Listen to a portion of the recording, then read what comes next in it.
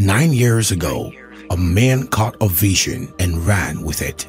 Nine years later, we can see the results. Grace unfolding, lives transformed, blessings like rain, healings and mighty testimonies. It's just Jesus Assembly's 9th year anniversary and Wings of Wisdom Conference 2022. Theme Fresh Hope.